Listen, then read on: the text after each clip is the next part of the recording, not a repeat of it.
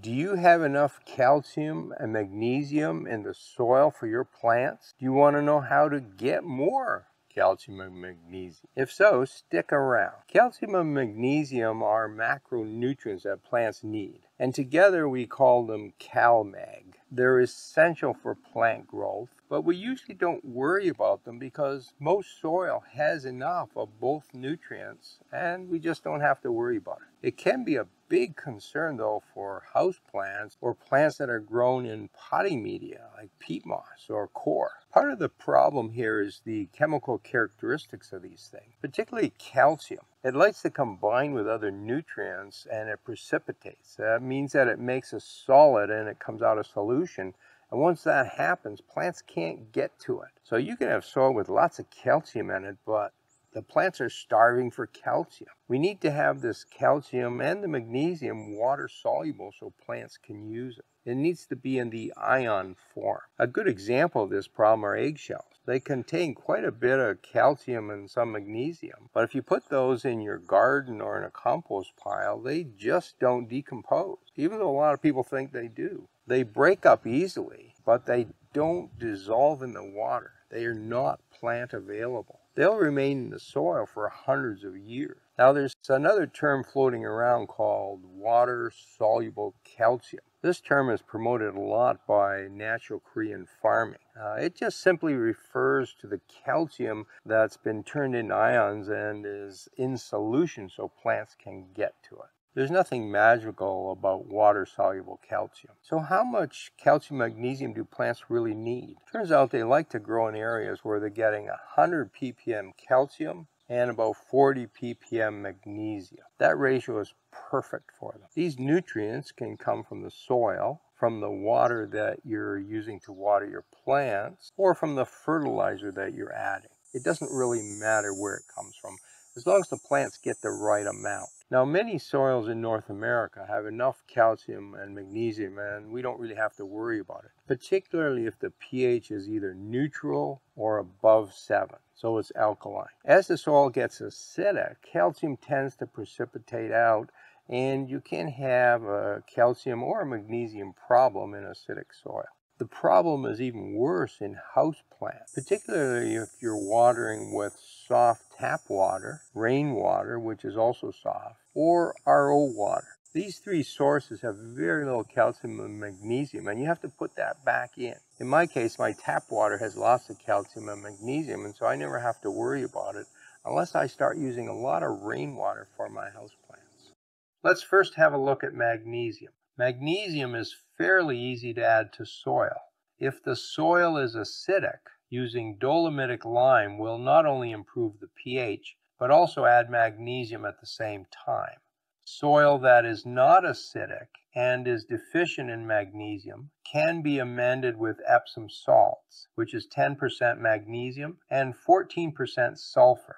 A 40 parts per million solution of magnesium is made using 1.5 grams of Epsom salts per gallon or one third teaspoon per gallon. As a reference, one teaspoon equals 5 grams of Epsom salts. Compare that to popular online recommendations for adding magnesium, which is 2 tablespoons, 6 teaspoons of Epsom salts per gallon. That is 20 times more than you need. What a waste of material. Not to mention that high levels of magnesium can create an imbalance with other nutrients. How do you use eggshells to make calcium? Eggshells contain mostly calcium carbonate, and it dissolves easily in vinegar, which is also known as acetic acid. The result is calcium acetate in water. Calcium acetate is a soluble form of calcium. The acetate is an organic molecule that is easily decomposed by microbes, leaving the calcium free for plants. This is sound chemistry and can be used to provide calcium for plants. If you also add Epsom salts, you create a CalMag mixture. Some sites call this fermented eggshells, but there is no fermentation taking place. The problem with many DIY recipes is that the authors don't understand the chemistry and make false statements about the recipes. Let's have a look at some of these. You should use brown rice vinegar Brown rice vinegar has some added color and flavor when compared to regular vinegar, but it is still acetic acid. There is no reason to use a special kind of vinegar. Use a 1 to 1000 dilution for plants. If the original amounts of eggshells and or vinegar are not specified, you have no idea what the final concentration of calcium is, and therefore you don't know the correct dilution ratio. This is a problem with many DIY recipes, not just CalMag. The only way to know the contents of a final concoction is to control the input ingredients. I found dilution ratios ranging from 1 to 20 all the way up to 1 to 1000. One video even said it doesn't need to be diluted. Roast the shells in an oven to prepare them. Many recipes include this step and claim it will remove any organic substances that will rot and contaminate the calcium solution, or dry the shells so they absorb vinegar better, or burn off the inner membrane. The inner skin is not decomposed with the vinegar and remains behind with the undissolved shells, so it is not a problem. The vinegar is mostly water, and drying the shells so you can put them in a water solution of acetic acid doesn't make any sense. Even with baking, the final solution is not sterile, but it also has very few nutrients in it that can sustain microbes. I see no benefit in baking the shells.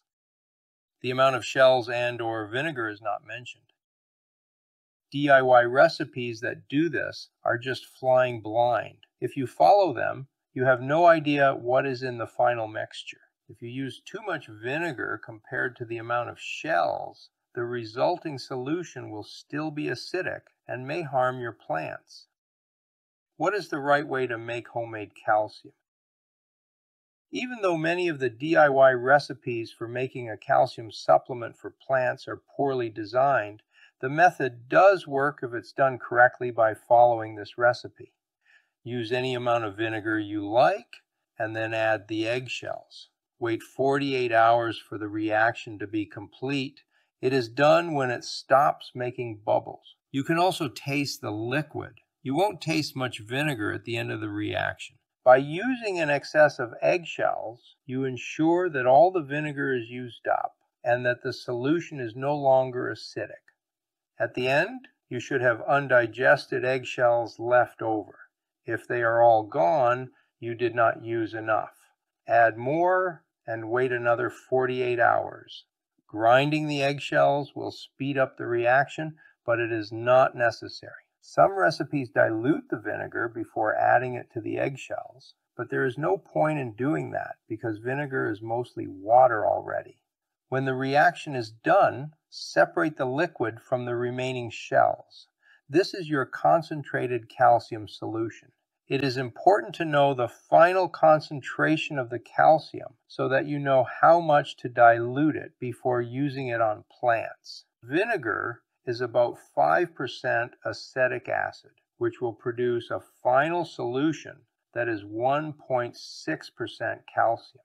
Plants need about 100 parts per million calcium. To make such a fertilizer solution, add 23 milliliters or about one and a half tablespoons to a gallon of water.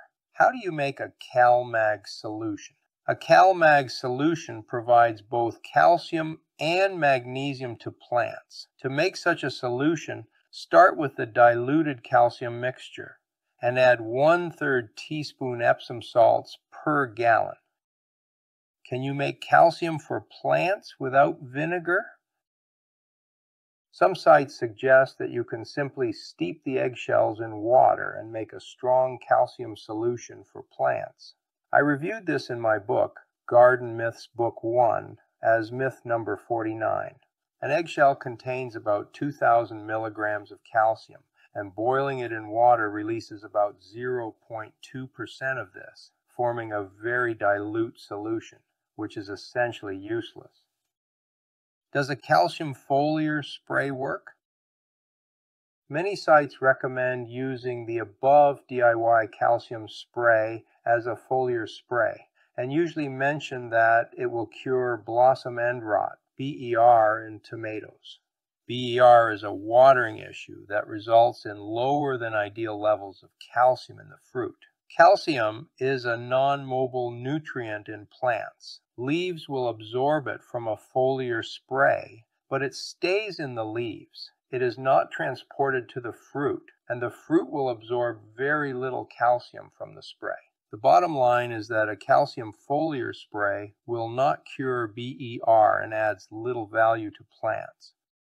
Now, should gardeners make their own CalMag? Is this a DIY solution they should follow? If you follow my advice on other topics, I'm not a big fan of DIY solutions, but this is one case where it actually works quite well.